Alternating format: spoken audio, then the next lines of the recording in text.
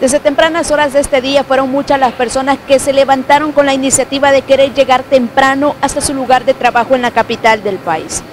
Pero llegando hasta la terminal interdepartamental de Aguachapán la sorpresa fue grande, pues nuevamente la ruta 202 de las Estrellas de Occidente se encuentra en suspensión de labores y hasta el momento los usuarios del transporte público desconocen del porqué.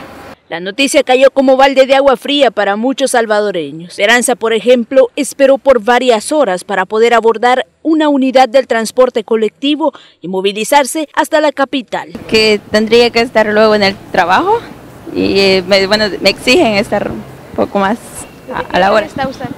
De las cuatro y media, sí, de las cuatro y media. ¿Cómo le ha afectado? Demasiado, que ya me están llamando, sí. Son más de 100 las unidades que desde temprano amanecieron apagadas ante esta decisión, mientras que otros afirmaron que no fue situación que les afectó. Pues nos afecta porque nosotros en los trabajos tenemos que estar temprano y no hay buses, pues ¿cómo nos vamos? No, pues nada, no, nadie dice nada.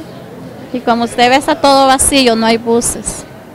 Por su parte, elementos policiales están tomando medidas ante las amenazas efectuadas por parte de estructuras delincuenciales hacia esta ruta, ya que esto se convirtió en el motivo del por qué la suspensión de labores.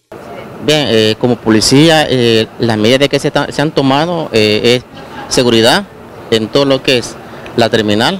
Como ustedes pueden observar, pues hay personal desde la madrugada, desde como a las 3 de la mañana, ante estas amenazas siempre se mantiene personal eh, lo que son en los alrededores.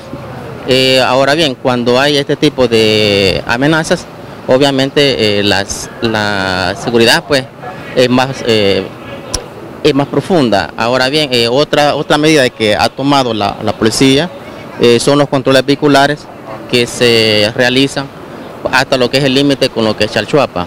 Al cierre de la nota, a eso de las 10 de la mañana fue levantada la suspensión de labores de la ruta de las 202 de las Estrellas de Occidente, con imágenes de Miguel González, Paola Castro, para Punto Noticias.